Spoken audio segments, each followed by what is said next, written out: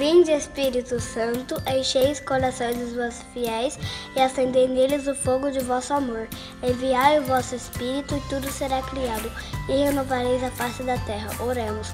Ó Deus, que instrui os corações dos nossos fiéis, com a luz do Espírito Santo, fazer que cresçamos retamente todas as coisas, segundo o nosso Espírito, e gozemos sempre da sua consolação. Por Cristo Senhor nosso. Amém.